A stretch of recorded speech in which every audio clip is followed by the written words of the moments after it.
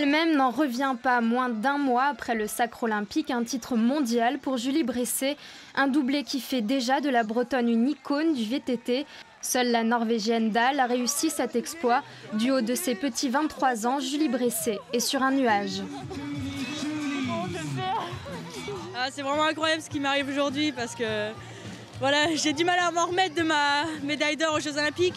J'ai vraiment savouré, profité de tout l'après-Jeux Olympiques. Donc j'ai pas préparé ce mondial. Mais je suis arrivée vraiment dans un état d'esprit, euh, voilà, j'avais vraiment envie. Euh, tout ce qui m'arrive, c'est vraiment du bonheur. Donc dans la tête, j'étais vraiment très bien. Mais aujourd'hui, je sais pas, j'y croyais pas forcément, mais j'avais pas de pression. Donc il fallait faire avec ce qui me restait de ma prépa olympique. Et c'est vraiment euh, incroyable. C'était très dur physiquement, mais j'ai aujourd'hui ma course, je l'ai gagnée techniquement. Gagner 10 secondes à chaque fois que j'allais dans le bois, c'est juste hallucinant. Donc je suis super contente.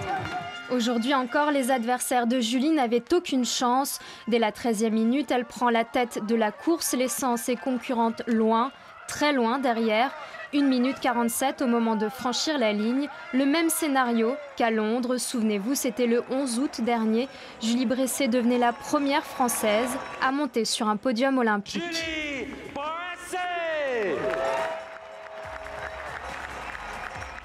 En Bretagne, c'était un accueil triomphal, bien sûr. Beaucoup d'émotions à Pleuc-sur-Lier, son village natal.